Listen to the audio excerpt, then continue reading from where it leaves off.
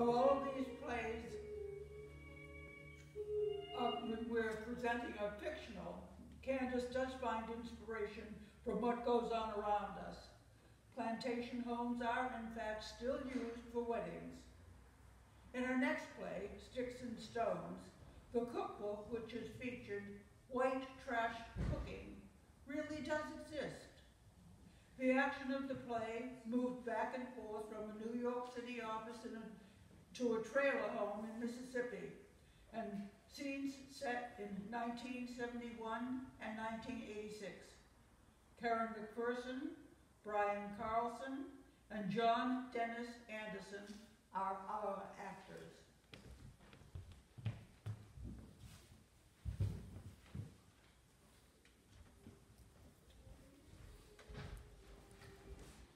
Okay, how's this?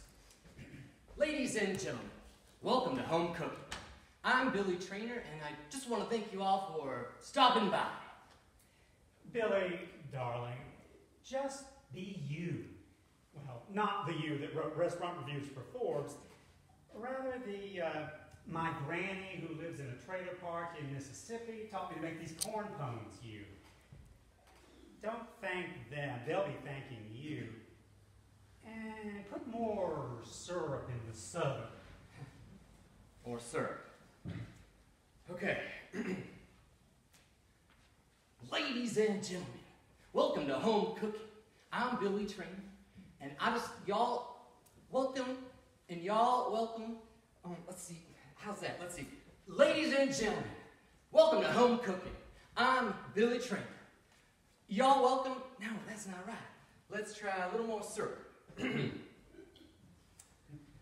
Ladies and gentlemen, welcome to Home Cooking with Billy Traynor. I'm Billy, and, y'all, and y'all, no, you're, you're welcome.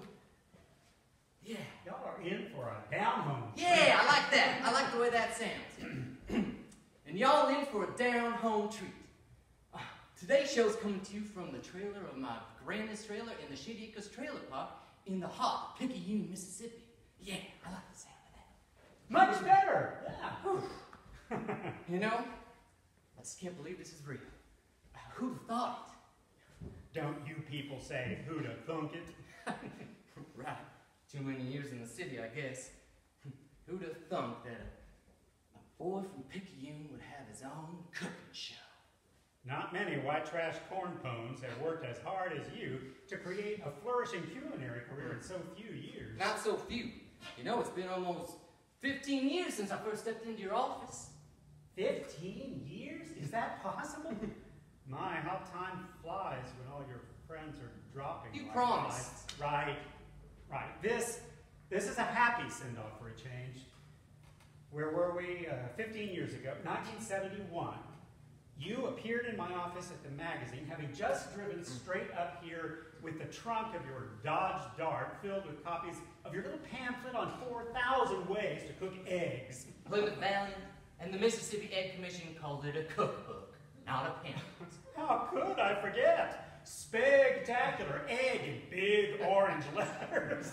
I swear, the ink wasn't dry before you thrust it in my hand. Not true. I wanted Granny to be the first one to see it, so I stopped by her place on the way up.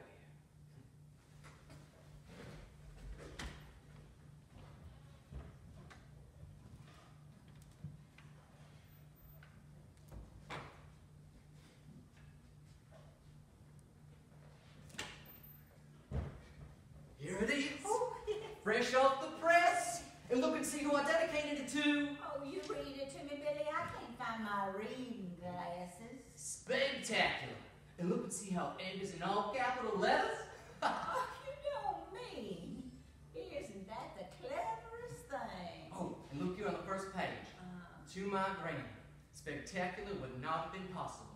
no, of course it would have been possible. You the one done all the writing.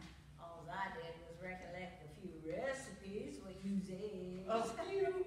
When the commission gave me this job, you were the only one that I could turn to mama, she doesn't even know how to boil an egg. Well, now that is the truth. And every Sunday for the last six months, I've been down here and been trying out recipes, or I've been on the phone with you. We had us some good times, didn't we, Billy? With those meringue kisses, oh. Oh. and deviled eggs. Oh. oh. you remember that onion pie? Oh. oh. I sure am gonna miss you, baby. Oh, well, look, when I can settle up in New York City, I'll send you a train ticket and you can come and see me. You know I won't even get on the Greyhound up to Jackson to see your mama. So don't you go thinking I'm going to no New York City. Gran, I'm gonna miss you. Oh, and I'm gonna miss you too. Something awful. But you gotta get yourself out of Mississippi and go and find your own self. Wish me luck on my interview. You'll be wonderful.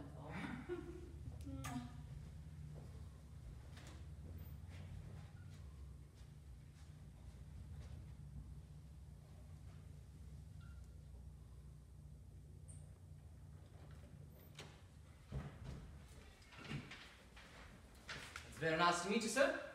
Uh, here's my resume, and uh, here's a little something that I wrote that I'd like you to have, sir. I'm not your grandfather. Oh, no, sir. Um, Quit calling me sir. There's really a university called Ole Miss. I thought that was something Harper Lee made up. well, no, sir. Um, I mean, Mr. Sanders. The first time to New York, you don't even have to answer. You'll notice that the pace here is a little faster than. Where is that? Picayune, Mississippi? Honestly, I thought Faulkner and the rest of them were inventing these names. so, uh, William Traynor Jr. from Picayune, Mississippi. What makes you think you can review restaurants in the Big Apple?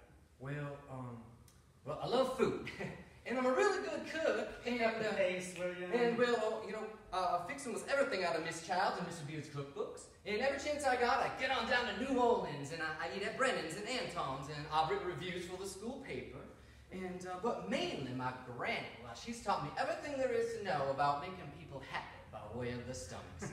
and she's the one that helped me come up with all the recipes for Spectacular. And even though I was a business major, I took plenty of English classes, and all of my professors Whoa, whoa, whoa, whoa. Okay, okay.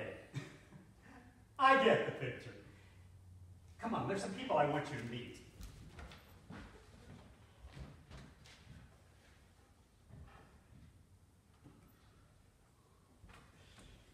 And the rest, dear boy, is history.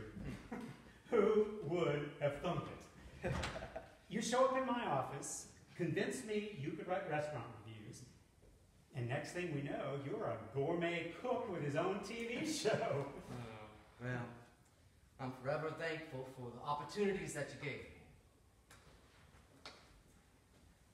I am too. And now here you are in this time of such sadness when the whole city is draped in black and and you, you, you, Billy Traynor, make people happy. God, when that cookbook, White Trash Cooking, became the rage, you seized the opportunity. It was it was like you were going back to your roots, declaring yourself to be just Billy. there in our midst was bona fide white trash, our own Billy. Remember when you put your granny on speakerphone and she told us how to pickle pig's feet? a hoot! Yeah, well, she always asks about you, wants to know if you're doing okay. She's a sweetheart. Why don't we get her up here sometime? Now that would be a hoot and a half. You know she doesn't like to travel.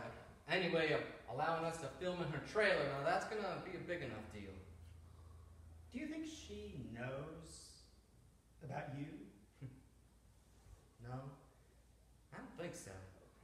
Except one time she did mention that Rock Hudson probably wouldn't have gotten sick if he would have stayed married. I don't know if she was opening the door to that conversation and closing it.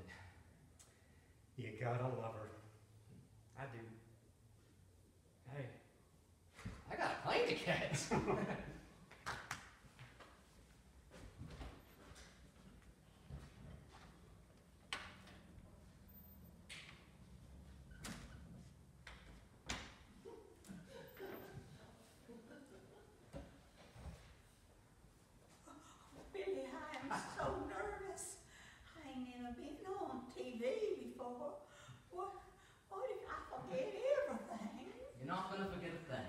I'll be right here. Plus, we're gonna read the recipes right out of this cookbook so that all of our viewers they can follow along. Now, you know I don't never use no cookbook. My eyes ain't good enough. Well, it'll be just like when I was little, and you put me up on that tall stool and you showed me how to make things. Uh-huh. Only difference is this time you'll be doing it for a whole lot of people. Easy as pie. It'll go something like this. Ladies and gentlemen, welcome to Home Cooking with Billy Traynor. I'm Billy, and y'all in for a real down-home treat. Come on, Granny, give me a smile. Today's show is coming to you from the kitchen of my grandest trailer in the Shady Acres Trailer Park in the heart of Picayune, Mississippi. Today, Granny and I are going to be making up a batch of the best corn pones you've ever sunk your chops into. Now, if y'all turn to page 115 right here in White Trash Cooking, which I guarantee is going to become your new Bible. See, Granny, it's easy.